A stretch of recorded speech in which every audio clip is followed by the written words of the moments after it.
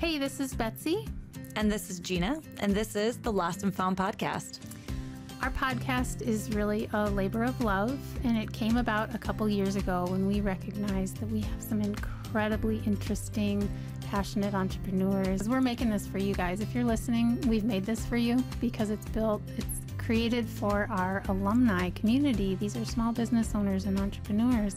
We're in the trenches together, but the stories um, that we can share, I think, will help you feel less alone, get you inspired, maybe even uh, inspire you to connect with these people. Real stories from real entrepreneurs in small communities.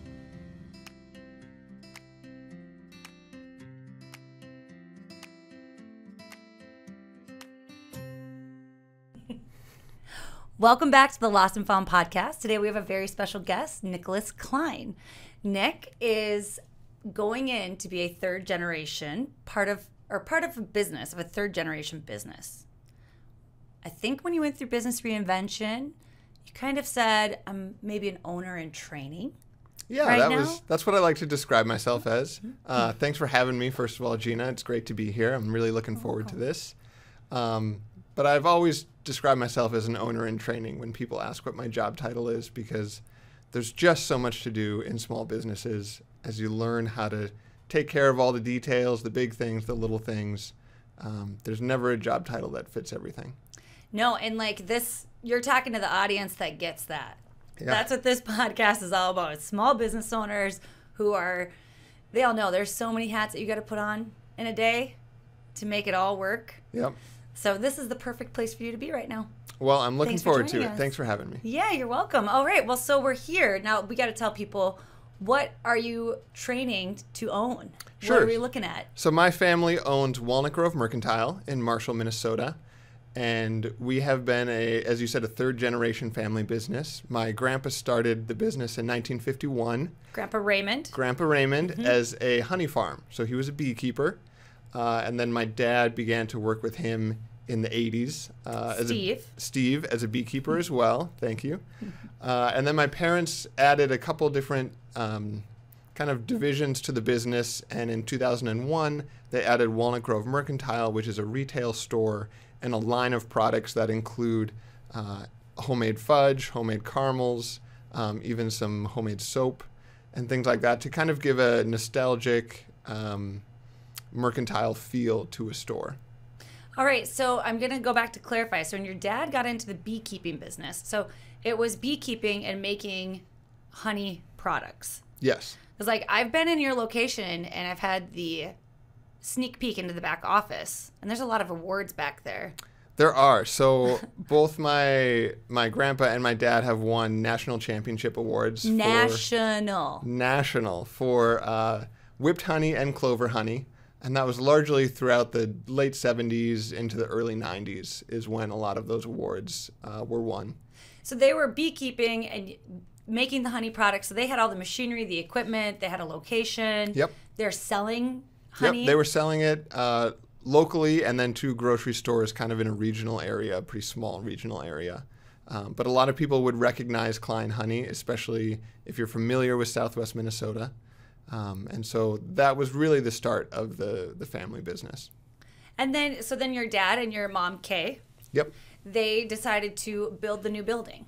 They did. So they in the early 90s they added some kind of gourmet honeys, which is basically a whipped honey or a spun honey, and then add different flavorings to make it a little bit more of a unique product.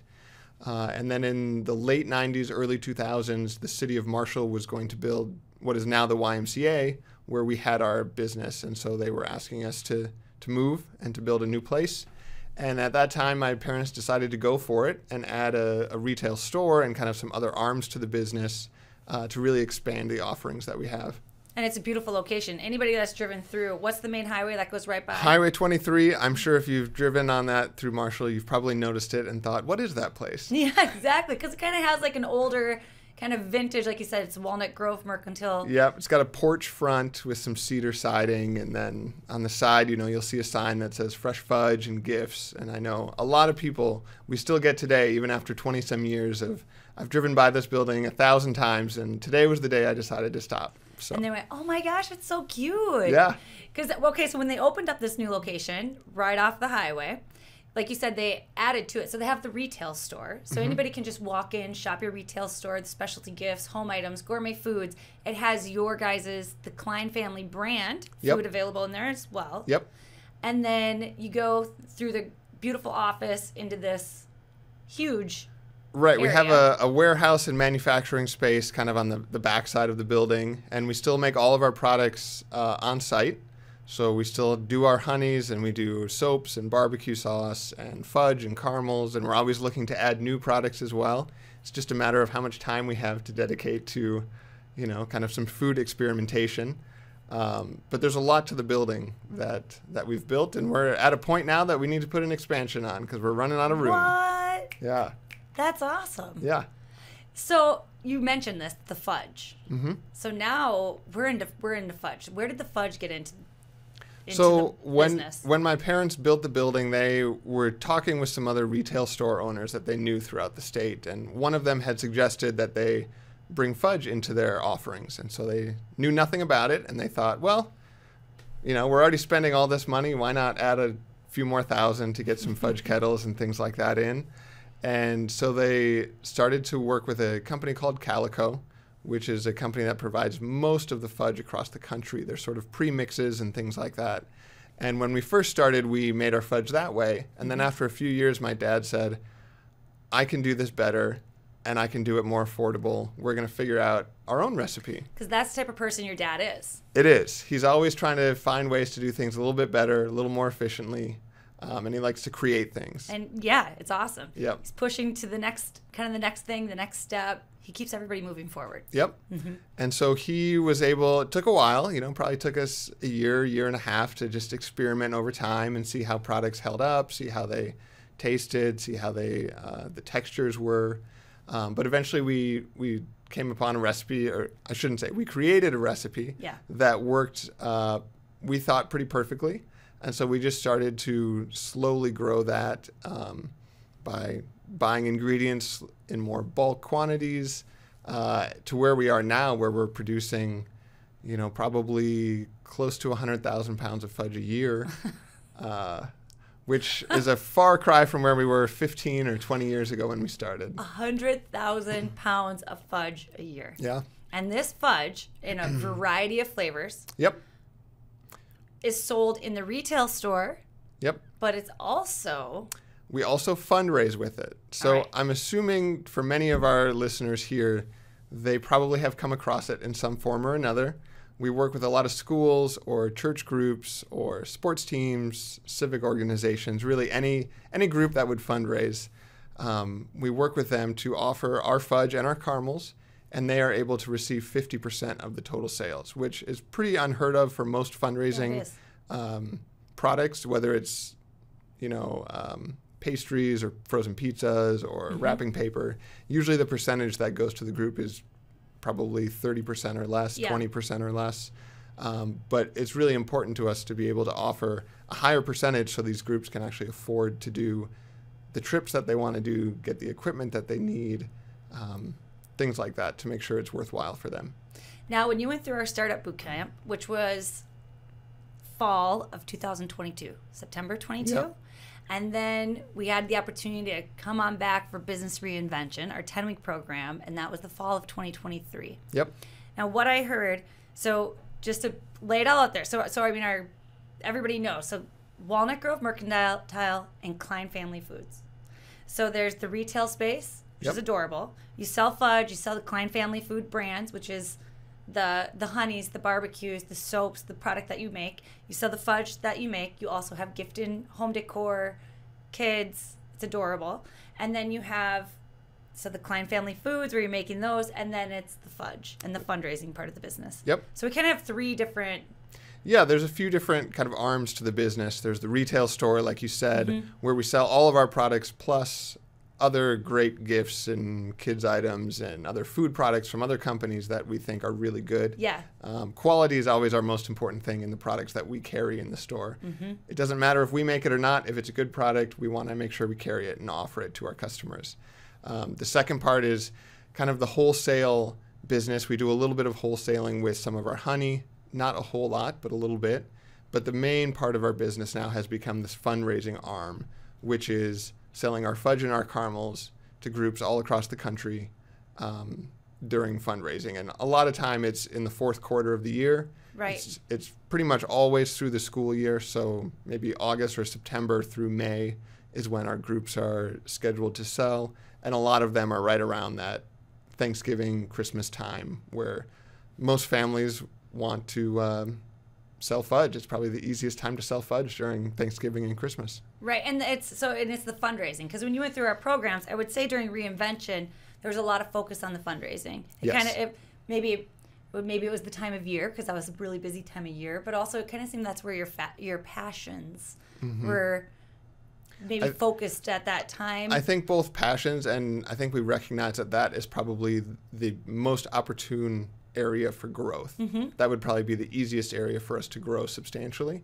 And so it makes the most sense to put more energy and more time and more thought into that part of the business. Well, now I have this great idea that this whole podcast is going to tie into this fundraising and everything else. Well, it's perfect. If anybody out there's listening, then uh, if you need some fundraiser, you know, just reach on out to us. You can find us online over in Marshall, and we'd love to work with you. Well, and because, okay, you have a beautiful why, and we also worked on a why for the business. So you have a personal why and a business why, and it seemed to me that they just fit in, fit together so very well. Right. And also with this whole fundraising mission. So why don't you tell us what your why is? Sure. So my why is believing in generosity and equal opportunity. Um, and I have a very specific childhood memory that kind of leads me into that. When I was a kid, I was probably in third or fourth grade, and it was about the age where you go from kind of some city league baseball where you just play over the summer and it probably costs 20 bucks or something Sure, like and you go and and community ed yeah. and things like that to what was be- at the time a little bit of a newer thing but what is now just everywhere which is traveling sports and so it was um, pretty expensive and at the time even though I didn't specifically ask my parents, I think I was aware that there wasn't a lot of extra money to be able to afford to participate in that. And so I didn't. And so I love baseball. It's my favorite sport. And that was really about the last time I ever played organized baseball was in second or third grade because then I didn't get onto the traveling team cycle. And then in high school, uh, I didn't go out for baseball actually because my my class actually has a lot of very competitive boys. We had a very boy heavy class, um, and so that was sort of it was hard. It hasn't you know had a huge impact on my life, but it was hard to not be able to play baseball um, because of financial circumstances, and so it's important to me as we do these fundraisers and work with these groups to know that we're giving them as much as we can from the portion of the sales so that the kids that are needing a new instrument or wanting to go to a regional competition of marching band or need to participate in a sports team and need some help with travel expenses can afford to do that. Um, and so that's part of the reason we do the 50%. I don't ever want to change that 50%. You know, if I have to make changes in other areas to make the money come out, that's fine. But that's just really important to me to make sure that the purpose of what we're doing, in my mind, is not to make money. It's to make sure that kids and individuals have access to the things that they want to do in life. I think that's beautiful. Thank you. Yeah. I do too. That's pretty great. well, and see, even I can see this like light sparking in you even right now when we're talking about it. And Yeah. think, I mean, how many organizations do you work with in a school year? Can you even put a number Oh, to it's it? probably 150 or so Organizations organizations. Yeah. with multiple all kids. and all over the country. A lot of them are kind of focused in the upper Midwest. That's where a lot of our fundraisers are. Mm-hmm. But we have fundraisers in California and Georgia and several in New York and Pennsylvania. And so people find us, you know, and we always ask them, "How did you find out about us?" Because you'll get a, you know, a contact form from someone out in Georgia, and you think, "Boy, how did they come across us?" And they all have different stories, whether they have a family member who did one in a different state, or they were looking for a good fundraiser and they came across ours online. Um, but there's always people out there who are looking for for some help fundraising. So when you went through the boot camp program and Yeah. you and your dad went through together and we were working on like the business why, and I remember you guys saying, well, it, I think it settled in on making a delicious difference. Yeah, yeah. And that's what you're doing. That is, and full credit to both you and Betsy for that, because I know you were helpful in coming up with that sort of slogan for us, but it really hit home for both of us that we are making a delicious difference. Because, first and foremost, we want to be able to help these communities and these individuals who need help.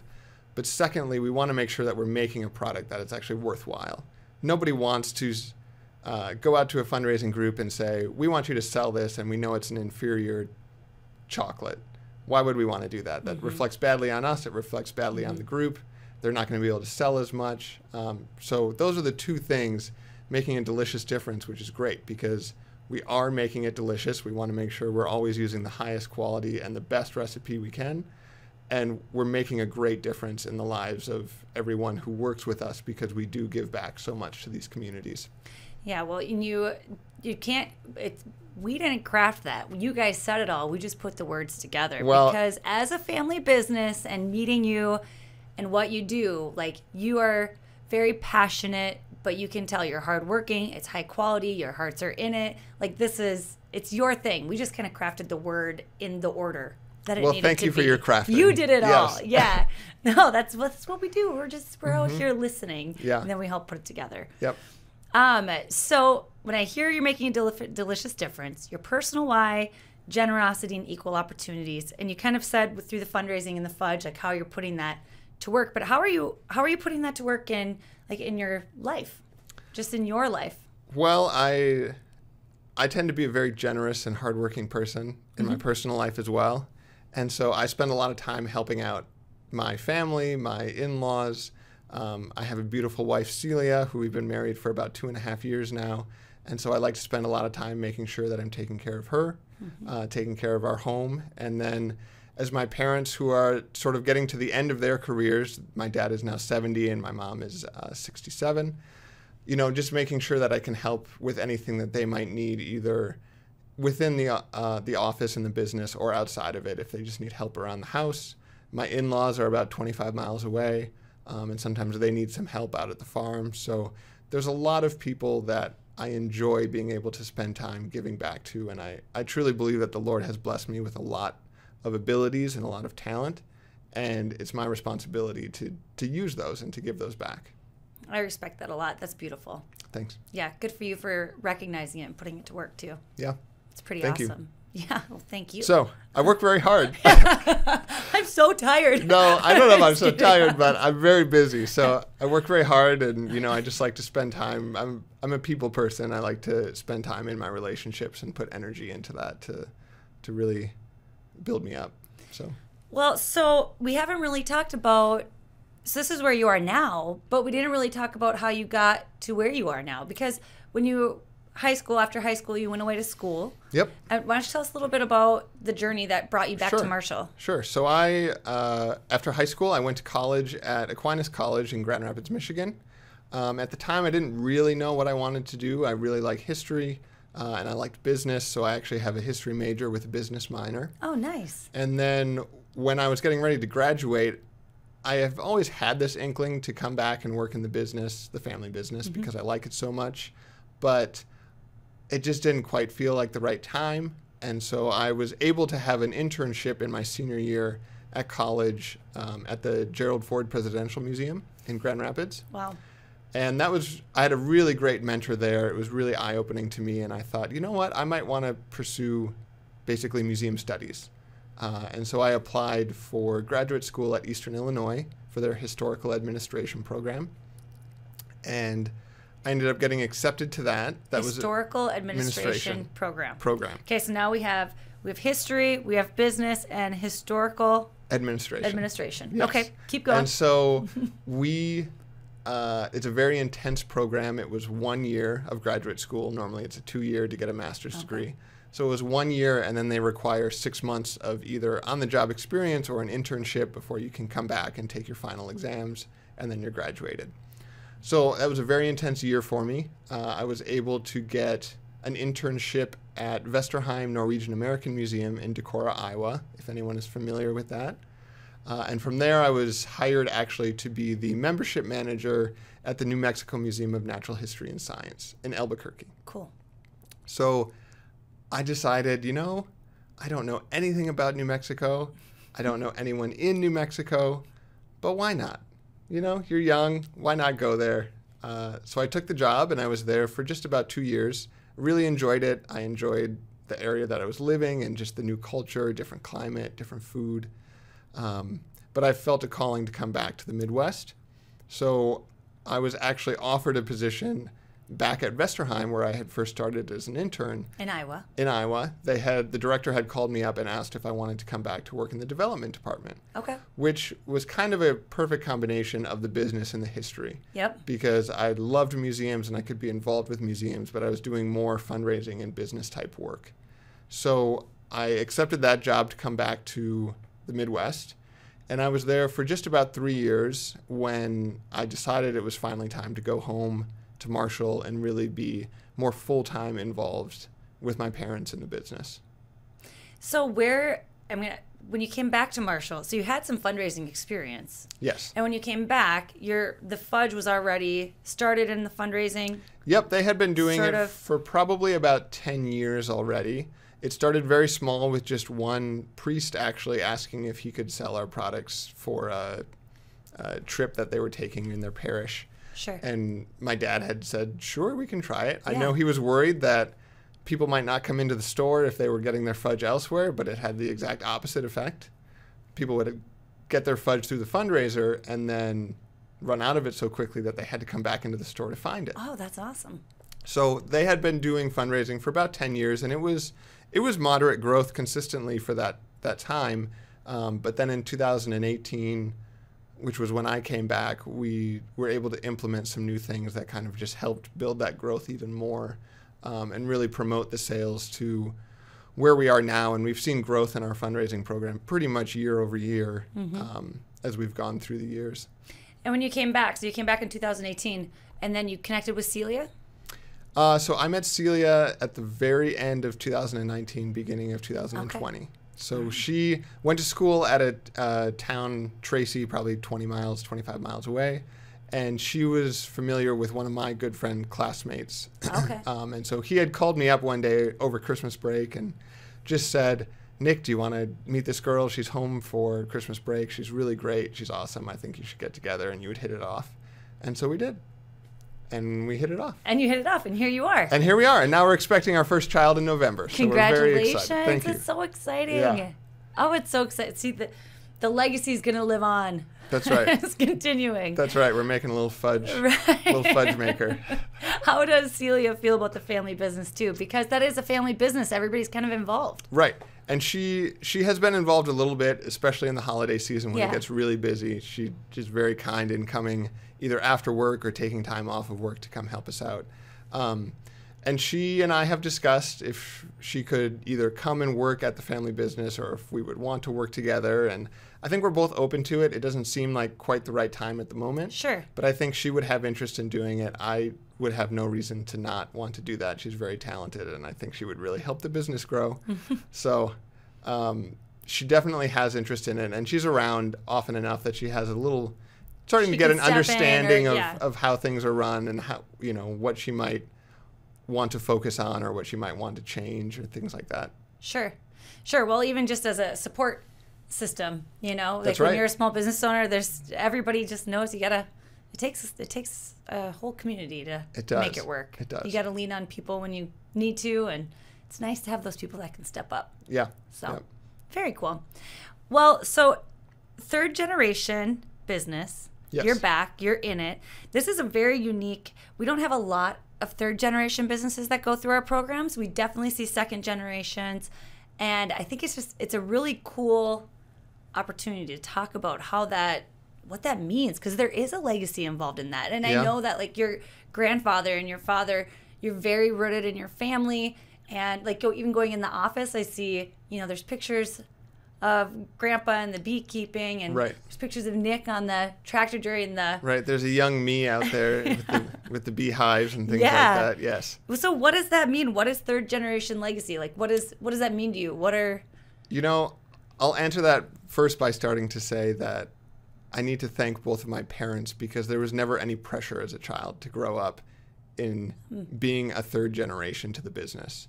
Um, for I have three siblings, so there's four of us, and for all four of us, they were very adamant that if you want to do it, that's fine. There's no pressure to do it, and Really cool. I am the one out of the four that actually has interest in doing it. And so, you know, it was a little bit of a winding road to get back there. But now that I'm back, you know, I just really appreciate that they gave me that flexibility and that space to come to my own decision that this is what I wanted to do. Um, but it does carry, you know, a lot of responsibility. You look back at what your grandpa had done, I look at what my dad had done, and to see the risks that they took and to see the areas that they grew the business in and the changes that they've had to make to keep it relevant for we're almost at 75 years. Um, it just is a reminder to me every day that i need to not be complacent. I need to just be aware of not only kind of the business uh, environment but just the environment of the world as a whole to see Mm-hmm. what direction things are going in. Right now, top of mind very much is the uh, price of cocoa. I don't know if you followed this at all, but the price of cocoa has either doubled or tripled in about the last six months. And a lot of that is because most of the cocoa comes from Central Africa, um, some of it comes from South America, and they've had a lot of not only political strife, but uh, environmental issues and kind of some um, diseases that have gone through the trees. And so, like, it's really, really affected the cocoa market. Okay. And when you look at our business, that is Yeah. pretty heavily reliant on that. It just makes you think, how can we keep this sort of alive no matter what might come towards us? Um, and that's a hard question. That is a hard question. I mean, to challenge that though, is there also comfort knowing that there's been ups and downs in the past, Yes. and they've made it through, and I'm going to make it through this. And I think growing up as well and seeing those times where there was more success and the times where it was more lean just makes you have an understanding of, you know, probably being a little bit more cautious and not overextending yourself at any point because if you're going to stick around for the long haul, if times are good, that's great, but just hold on to it because there will be times that come that will be not so great. Um, so I know earlier I had mentioned, you know, probably needing an expansion on the building, and there are things like that that we really have had a lot of serious talk throughs Sure. about. Of, you know, when's the right time to do it? What's the right size to build?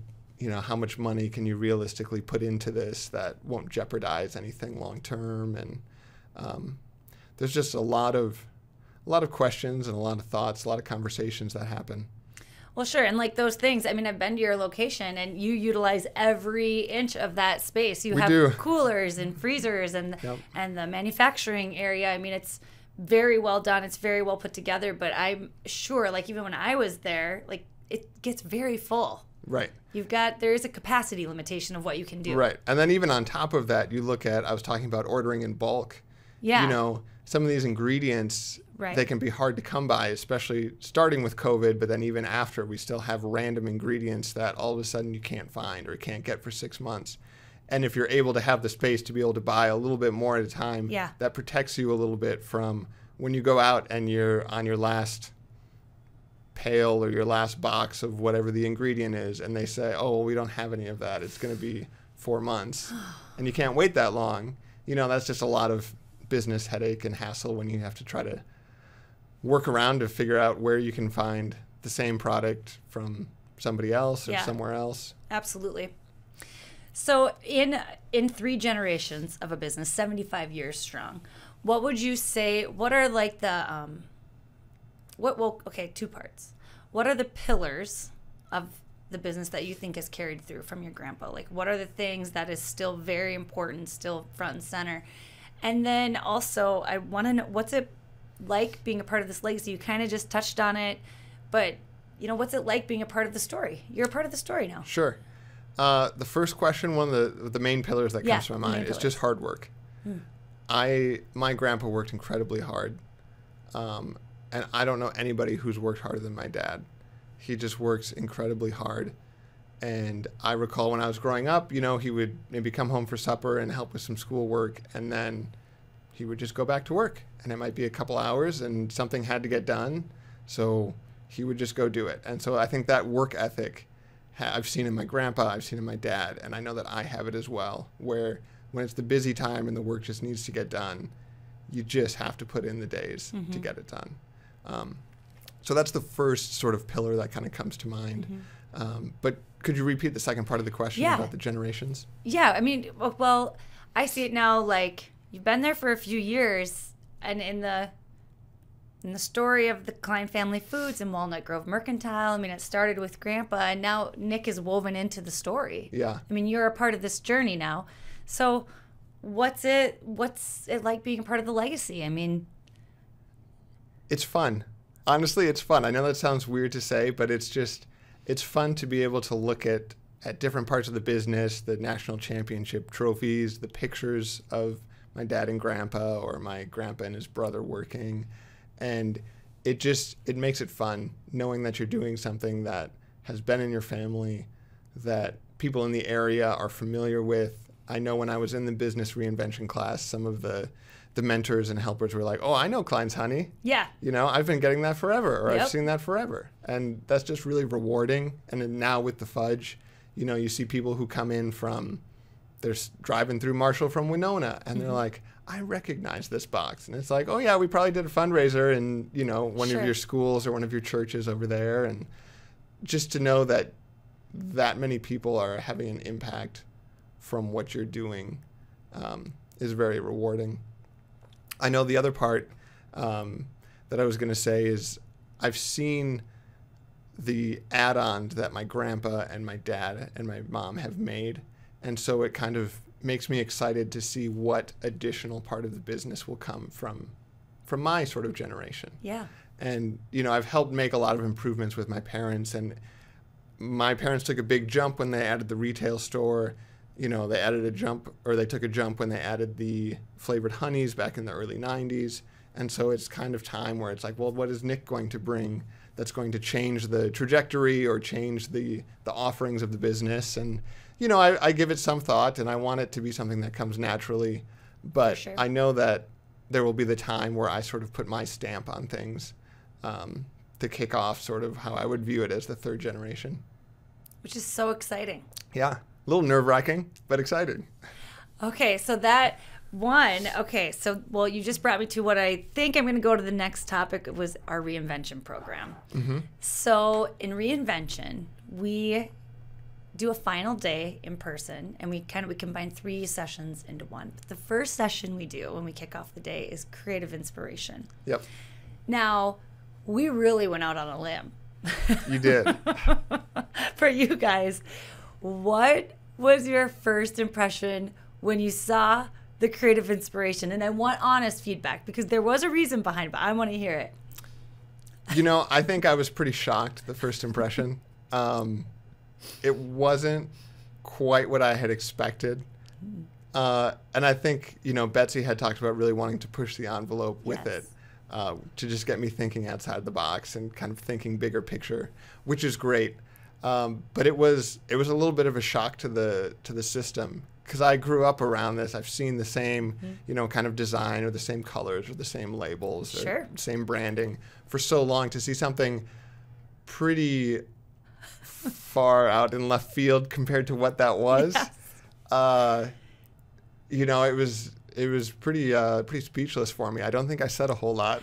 Right, but you just you you said exactly what I was hoping that you would say because we saw this as a great opportunity maybe to shock your system a little bit. Yeah. Like, you know, cuz when you like you said you're an owner in training and and we thought, you know, wouldn't it be a gift to show Nick something completely outside of his comfort zone to bring him all the way to this end so if he wants to come back and work somewhere in the middle Yeah. ground in the future that he can and it was a great reaction it was kind of like oh look at that yep, that that seems familiar. Yeah, but so when you think about like so not i'm not saying that that's where you're going to go with it but when you think about like wow and maybe it did this but this in 10 years could look completely different like this could Right. be same pillars same legacy same values similar products but it could i could make this into you know my Right. my own thing or for the next part of the legacy right. that's a really big thought It is a big thought. And going back to what I said about putting my sort of stamp on the third Yeah. generation, I know, you know, when my grandpa started it, there was the Klein label that was the sort of standard that he had created that was used. And then my parents created this new label in the early 90s, and then they added this whole new uh, brand of Walnut Grove Mercantile Yeah. in the early 2000s. And so it has been an evolving business. And I think sometimes it's easy to forget that, that you just think, well, it's always been this way. And it's like, well, the business has been around for 73 years and it's changed probably, you know, three, four, five times. And so even though it might seem to be a huge jump or something crazy that doesn't make sense, in 20 years, people could be like, oh, yeah, I recognize that. That's, that's what it's been for the last 20 years. Right. So, you know, just keeping an open mind to know that anything is possible on that front um, is just a good reminder. I love to hear that. Yeah. Yeah, nobody knows where it's going to go, Nobody right? knows. But That's it's right. fun. Keeping an open mind is super important. When you were talking about the evolutions from grandpa to dad to Nick, I got to know. We heard about the good stuff. It's beautiful. They're hardworking. Family's super priority. What's it like having a disagreement in a third generation owned business? You know, it's kind of it's kind of hard. Uh, I'm not gonna lie. Let's get gritty, Nick. Yeah. Um, I'm very thankful. I was talking about the ways the Lord has blessed me. I am an excellent communicator, and I don't mean to toot my own horn, but I, I'm very good at sort of empathy and communicating with others and trying to work through things. And so when there are disagreements, because they happen fairly frequently, it's just a matter of talking about it, having a conversation, looking at pros and cons, trying to understand why someone is coming at it from the viewpoint that they are, trying to explain your own viewpoint as to why you think something needs to change or not change. Um, and it's hard because it's my parents. And so sometimes you just have to say, I'm disagreeing with you as a business partner, not as your son. you know what I mean?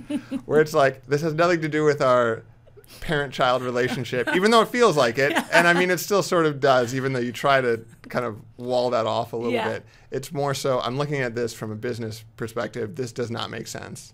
Or this does make sense and we should do it this way. And, you know, eventually you kind of either come to some sort of compromise that both parties are comfortable with.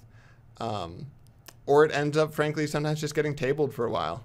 You know, if you can't seem to come to some sort of agreement or conclusion on something, you just say, this isn't going to be the end of the world. If we can just hold out for six months or a year to make a decision on it, let's just wait. There's plenty of other things that need our attention and need our work and things like that, that we don't have to hammer out everything um, right when it comes up. That's really good advice. A lot of businesses are family owned. It's husbands, it's wives, it's kids, it's parents. It's, I mean, that is great advice. It's hard not to take it personally. Right. Even when it's two business partners, it's hard not to take it personally. Right. And you know, you you do sometimes take it personally and you just eventually get over it. There are way more important things in the world than whatever it is that you know is either going on in the business or that Sure. you would take personally, you know, if Sure. someone disagreed or agreed or whatever it is. They're just to keep your priorities straight, there's a lot more important things in the world than what seems like this monumental decision or disagreement in front of you. Well, that is a great point of view to be able to have. And also, I think that whole communication thing is so key to make sure that you've got everything out on the table. They can put everything out on the table, and we can, once it's out on the table, we can work with it and we can get to a conclusion. But if That's it's right. not, it's really hard to move forward. Right. It's right. really good advice. Yep. And what So a gift. That's what I try, and sometimes it's nice to hear my own advice because I don't always follow that. Some days you just don't quite have it. well, I was just going to say that. But when you're in the moment, it can be really hard. It can be really hard, but patience helps. Yeah, patience does help. Yeah, I, well, I can see that you're like, like you said, that you have empathy. You're a good communicator. But what a gift to be able to bring that, like, Yeah. into a business. That's Yeah. awesome. Um, into any aspect of life, not just That's business. right. I use it far beyond just the business scope. right. Yep. So, what other advice? If you if you were talking to somebody else or somebody heard the podcast and they said, "Oh my gosh, I'm going into a third generation business or a fourth generation Yeah. business," and if you're gonna if they called you up on the phone and said, "Nick, I need some advice. I'm I'm doing this. What what do you got to tell me?" You know, that's that's always a hard one. I think for me, faith is a big part of my life, so I always pray. I pray a lot. I pray for for help or guidance in things. Um, awesome. What I just talked about with patience would be a big one. You know, it seems like everything has to be made immediately, and there's such rush decisions, and it's the only thing you can focus on or think about. But just be patient. You know, if you feel like the timing or something isn't quite right for something, whether it's to be a part of the business or for someone to step out from the business, you know, just be patient and understanding. Things should work should work themselves out and just take advantage of the prior generation, in this case my parents, because they have so much institutional knowledge and it doesn't always directly correlate to where the business is now or where it's going, but you would be amazed at the amount of things that they still recall or know or remember that can really add on to whatever new direction you might be wanting to take the business.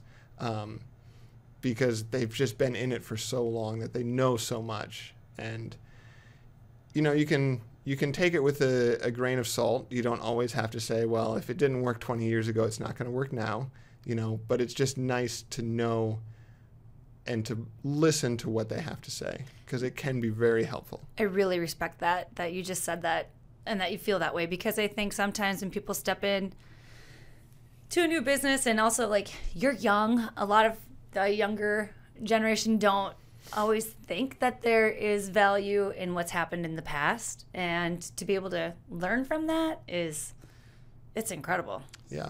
And I guess another thing It's I would say smart. would be you just have to be prepared to put in a lot of hard work. a lot of hard work. Even if you think like I don't think this is going to be that much. I mean, it's going to be more work than you could ever do in a lifetime. And so while you have to put in the hard work, you know, try to find what your what your limit is, what you're willing to put in and what you want to set aside for other priorities in your life to just try to find some sort of balance. That's something that I struggle with and am working towards and it's very difficult because you really can pour everything you have into the business and it still won't be enough. Um, and if that's what you really want, if that's the most important thing to you in your life, like that's great and go for it. But I would also recommend make sure you take time for the other areas of your life that you enjoy, whether it's family, whether it's a hobby, whether it's travel, whatever it is, because I know one of the things I loved about business reinvention is it sort of helped reignite a little bit of my creativity. Yeah. And it was during the very busy time of work for us. And so it mm-hmm. just felt like this slog where you go to work every day and you've got this checklist of things to do that you know is going to take you 14 hours to get done. And then you have different phone calls and emails that pop up. And there's no time for the creativity or the strategic problem solving that I love to do. Um, and so just to try to find some outlets that help you reignite that like I said, business reinvention was that for me, being able to talk to, you know, the 10 other business owners that were here in different areas of business and to hear what struggles they were having, what successes they were having. And, you know, it was fun to be able to try to do some problem solving for somebody else. You Oh, know? yeah. When somebody else has this issue and you're like, oh, I had that issue a while back, or I know what could be a good solution for you. And then to realize that they can also do the same for you. Well, and it's such a great opportunity because as a small business owner, it's it, it can be very isolating and there's not a lot of people who understand the lifestyle, the balance that you need to have and what it's like to own a small business, Yeah. especially in like a rural area. And so I think like those business reinventions, you just said it, to be able to bring business owners together and to speak into each other's businesses, to offer advice, to hear each other, to speak something out loud is like it's so impactful. Right, especially for someone who's not in it. You know, they're on the outside looking in and they say, well, yeah, I can see why that would be a problem. Or, have you ever thought of doing it this way? You know, just that new set of eyes. Or if you take a break away from your your day to day, you can see things in a different way that help, you know, push through some of those problems that come up and we'll always be there to just help your business keep growing. It's always hardest to see it when you're in it. Yep. It's, it's especially like, when it's the really like really busy and you just have no time to to think about anything besides what's right in front of you. yeah, it's really good advice. The balance thing and small business ownership. I mean, if you can make it a priority and put it in front, but it is really Right. I would say if you can make it a priority, again, reach out to me and let me know how you've done it. Oh, it's hard. it's very hard. It's hard, but then you know if you're if you have a passion, so like the fundraising part of it, when we went through reinvention seemed like that was a passion of yours like that Yeah. it really fit with you and so like if you're passionate about a part of your business or about your business or like even if it is a segment of your business that passion can fuel you to keep doing it and then that Right. kind of helps maybe bring a little bit it doesn't make you resent the time that you're putting into your work because you're passionate about it you're making a Right. difference about it and i with the programs especially like sometimes when people come in like you said you're in that slog and then they kind of start resenting their business Right. it's like, but you got to remember why you're doing it and the impact that you're making. And once people can connect with that, it's like, oh yeah, Yeah, and I'm very thankful. We actually have probably a handful of groups every year that end up. Maybe it's a card with all the kids' names signed on it, or like thank yous or notes like that that really lift you up and keep you going on those tough days where you're like, oh, good. They did appreciate the fact that I made that extra effort that cost me three hours of work, but they were really appreciative, and that's you know that's really important. I love the idea of having like a wall somewhere in your store or at your location with all the different locations of organizations that you've mm-hmm. helped Yeah. or like photos of the different organizations. Like, I mean, thinking for, yeah, your customers to come in and see that impact that you're making, like it would be so huge. Yeah. And then too, even for you, like I can see you unlocking the door and walking in and seeing this wall and being like, let's make some fudge today. That's right. I, I need to go help somebody else in Colorado because we haven't helped enough people there yet. Heck yeah. Well, Yeah. It's, it's endless. Yeah, You're going to keep helping. It I is, mean, you guys yeah. have a hundred thousand pounds of fudge. That's right. We need a lot of people out there to eat it. Yeah. That's so many organizations that you've helped. It and is, it's yeah. it's incredible. Yeah. Yep. It's pretty cool. So let's talk about the future. You know, Sure. we've talked about how you got here, what you're doing. Yep. We don't really know what the pivot's going to be, but what do you what do you think? Where do you see it? Well, there's a few things that that kind of concern me for the future. One of them is the cost of shipping Yeah. and the unreliability of shipping. Mm-hmm. Um, because we make a product now. Granted, most of it gets sent out in the winter, so if it's frozen, it's not going to matter. It's not going to melt or anything like that. So that's actually very convenient for the business. But you know, it's really expensive, and that can really limit being able to give 50% to groups. And then if the group is far away, like in Georgia, it gets fairly expensive for them to be able to ship it down. Um, and so that's something that kind of concerns me that I want to try to figure out a better way to do it. And I, I don't know yet, but just thinking about different ways of transporting or implementing shipping costs. Um, the other thing that's very important to me is sort of environmentally friendly products. Now, all of our ingredients for our caramels and our fudge are all um, sort of eco certified by the larger corporations that, that we provide the, or that we get the ingredients from. But looking at adding different products to the fundraising line, because it's always important to add things. You don't want to become stale with the same old flavors that you're always doing. And so implementing maybe a rotating flavor every year, every other year, um, possibly some different products that might be more um, more encompassing to the people that maybe don't like fudge Yeah. caramels. I know when we added caramels to our fundraising offering, that was has become basically the top seller now because I think there are a lot of people who don't really care for fudge, but Well, they love a good caramel. They love a good caramel. Thank you. Um, so I think just trying to find different products. I know since we make soap, that could be a potential product that could go into fundraising. Um, I don't know how successful or how much interest there might be in that, but we've done a few little testing testing markets with different fundraising groups where they sell some of our other products, just to see does it work well? Do people have interest? How does it ship? You know, if you start shipping things with glass, like Yeah. in jars or bottles, then you're even more worried Yeah. about breakage. Um, so those are kind of a lot of the questions. I, I hope, you know, to at least, I was thinking this morning that it would be about 2050 or 2051 that we would hit our 100 years of business. So in about 20, what is that, 26 years, years. 27 years. So I would hope that I will at least be around that long to get us to Of 100. course you will. I mean, working, working at the business, you know, to get us at least to 100 years and, Yeah. and you know, kind of see what, what the world looks like at that point. it's going to be really interesting. It's going to be fascinating. Oh, I can't wait. We'll come back on a podcast and talk yeah, about oh, it. you bet we will. Yeah. Hey, we could do one at like 85, 95, in a hundred. You got it. Okay, I right. like it. Any other like big changes to the business or future planning that you're going through right now, or that you're trying to set up now for your future self? Right. I mean, part of it, like we talked about a little bit of this expansion. Yeah. Um, New one of the one of the best ways to store our product, our fudge and our caramels, is to freeze it, and so to be able to have a little bit more storage space. Um, I don't know if anybody in the food business might be familiar, but there's a pretty um, severe lack of cold storage Mm-hmm. in Minnesota, especially in rural Minnesota, which Mm-hmm. is where we are.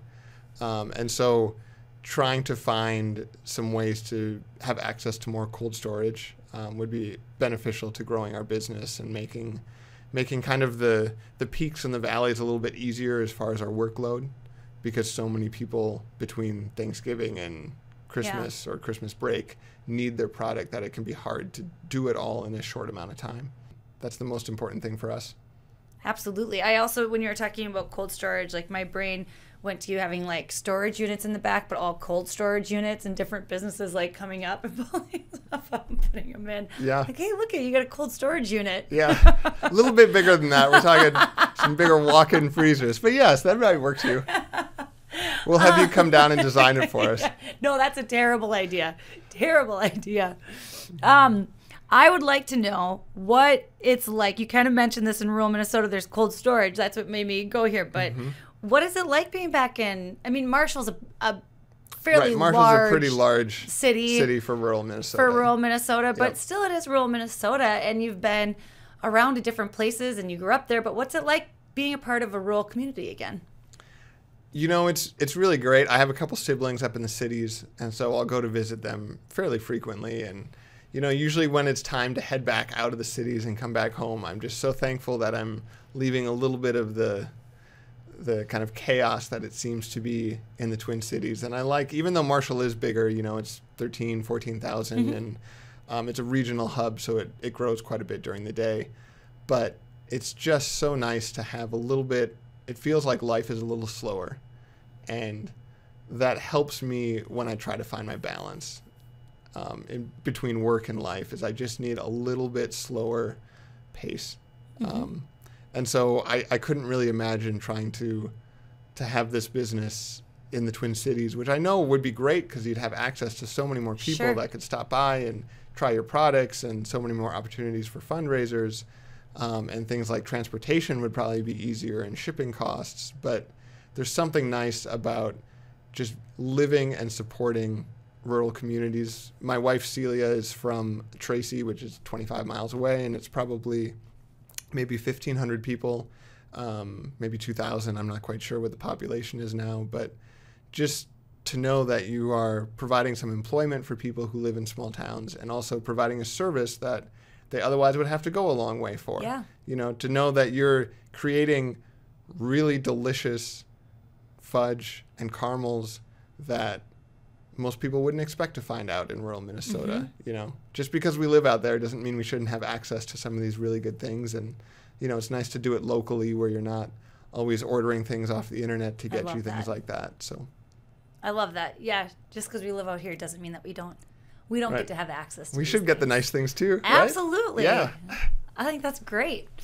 All right, somebody who is looking into owning a business. You kind of gave us this with the with the um, multi generation thing, but advice for people looking at small business, hard work, absolutely. hard work. Um, you know, if you have a good idea, which is always hard to know if you have a good idea, but you really you have to just throw it all in the basket if you're going to go for it, um, because you really can't you really can't uh, go halfway on these things, you know, and it's scary. It's really scary, but if you believe in yourself and if you think you have a good idea and you want to really make it work, just go for it. Because I had, I think I had read some book or read something somewhere that talked about a way to try to get over your worries and your fears because you're going to be very afraid that everything might fail. Is just to look at, just talk out to yourself what's the worst case situation. So you start a business and it fails. I mean, is that so bad in the grand scheme of things? If you have to go bankrupt, is that so bad in the grand scheme of things? Hopefully, you have your health, you have family, you still hopefully have a home, You know, you have food. If that's if that's the worst thing that could happen, you can survive that. Yeah. Yeah. Thank you. Is there anything else that you want to add into our I, podcast th- I think we've probably covered it all. I really appreciate you having me on here, and this was my first podcast. This was kind of exciting. I've never done this before, so thank you. well, first of multiple, you're very good at it. Well, I I would like to say I practiced ahead of time, but I really didn't. I kind of just went with the flow. So I think we just launched your podcast career. Well, remember that. I'll that need you as my moderator. okay, perfect, perfect. Well, we can find your fudge. We can find out more about you online. Sure. You can go to our website, walnutgrovemerc.com. So that's Walnut Grove and then M E R C.com. When you go on there, there's a lot of information about the store, but there is also a large fundraising section. Sure. There's a whole fundraising section. Um, if you wanted more information about it, if you want to sign up for it, if you want to see what groups are selling, because some groups will sell online, um, there's just a lot of information there. And if you're ever in the Marshall area, you know, we're always we're always welcome. We're open six days a week. We're always closed on Sundays. So Yeah, Yeah. definitely worth the stop. And also, you have some social media. You're on Facebook. Sure, You yep. got things going on there too. Yep. So, well, thank you for taking time out of your busy schedule thank you very here. much. Yeah, it was great. I Yeah. really appreciate it. And congratulations. Thank you very much. Yeah.